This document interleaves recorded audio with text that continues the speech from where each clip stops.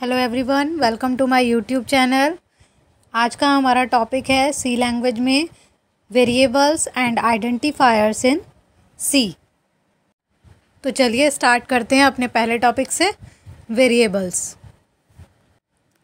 in C language when we want to use some data values in our programs we can store it in memory space and name the memory space so that it becomes easier to access it it means क्या है कि जब भी हमें कोई programme बनाना होता है, हमें कुछ ना कुछ डेटा वैल्यूज़ की ज़रूरत पड़ती है और हम उसको मेमोरी स्पेस में सेव करते हैं।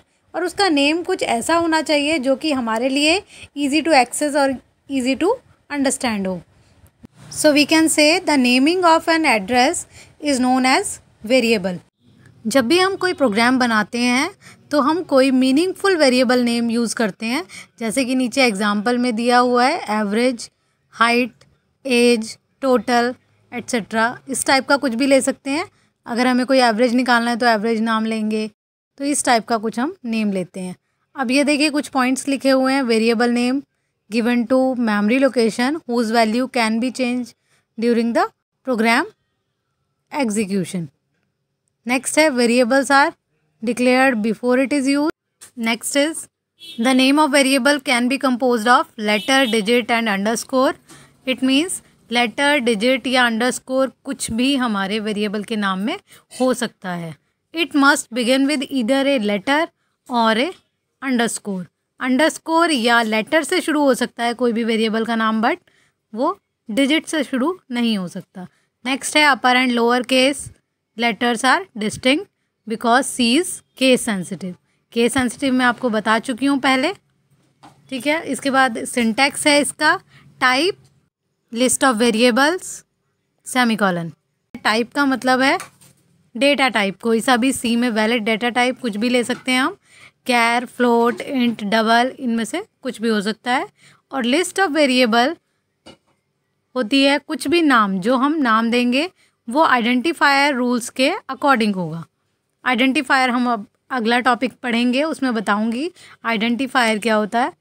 नीचे इस सिंटेक्स के अकॉर्डिंग कुछ एग्जांपल्स लिखे हैं। अब हम वो देखते हैं। पहला है int a comma b comma c int क्या है इसमें? टाइप या डेटा टाइप हम बोल सकते हैं।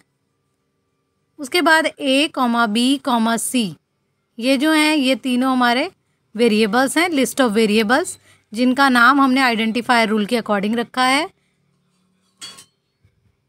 और कॉमा से वो सेपरेट किए हैं। उसके बाद है सेमी कॉलन सेमी कॉलन लगाते हैं, मैंने बताया है कि हर लाइन को जब हम ख़त्म करते हैं तो सेमी कॉलन लगाते हैं। तो सेमी कॉलन लगाया है हमने, इसमें भी। ऐसे ही अगले वाला char C comma C H फिर सेमी कॉलन कैर क्या है? डेटा टाइप है और सी कॉमा सी एच है। लिस्ट ऑफ़ वेरिएबल ऐसे ही नेक्स्ट वाले एग्ज़ाम्पल में फ्लोट डेटा टाइप है A one B one list of variable है। अब next variable can be initialized in their declaration initial value can be assigned at time of declaration initial value होती है, जो value हम starting में fix करते हैं।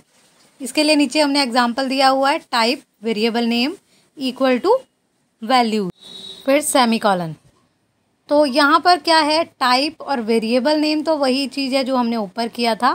इक्वल टू वैल्यू का मतलब है कि हमने उस वेरिएबल की वैल्यू यहीं पर फिक्स कर दी। अब देखिए, नीचे एग्जांपल है। टाइप की जगह मैंने इंट लिखा है। वेरिएबल नेम की जगह ए लिखा है equal to zero it means A की वैल्यू ज़ीरो कर दी। दूसरा एग्ज़ाम्पल है। Float pi is equal to three point one four comma X is equal to one फिर semicolon it means pi की value three point one four और x की value one हमने initialise कर दी।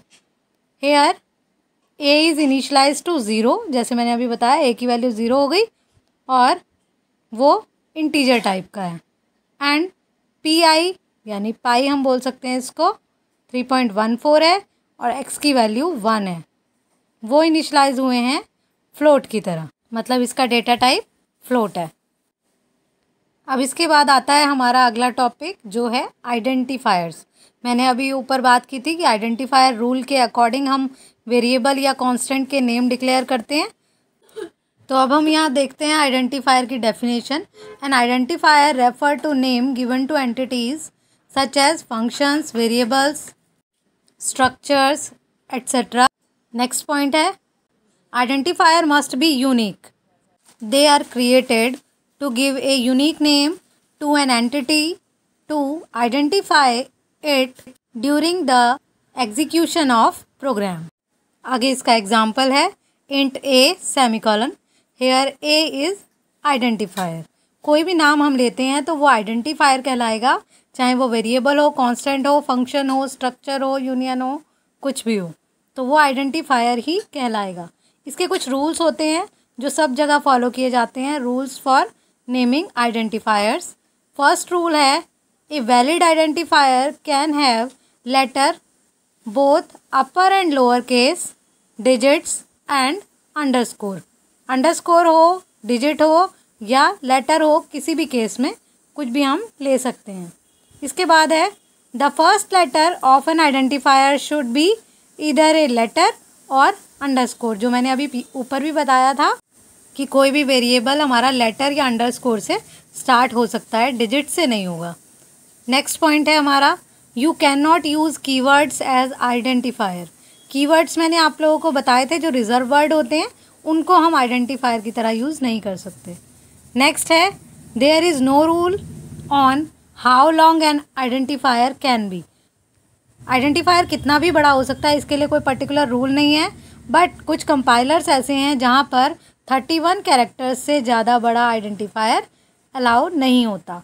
तो इसलिए कोशिश यही करें कि थर्टी वन कैरेक्टर तक का अपना आइडेंटिफायर रखें, चाहे वो वेरिएबल हो, चाहे वो कांस्टेंट हो। तो ये था हमारा टॉपिक आइडेंटिफायर। तो आज हमने दो टॉपिक पढ़े हैं, वेरिएबल्स एंड आइडेंटिफायर्स। अगला टॉपिक होगा हमारा डेटा टाइप। अगर आपको कुछ डाउट हो तो आप कमेंट सेक्शन में पूछ सकते हैं। तो अगर आपको हमारी वीडियो पसंद आई हो तो प्लीज़ लाइक कीजिए, शेयर कीजिए और सब्सक्राइब कीजिए। Thank you.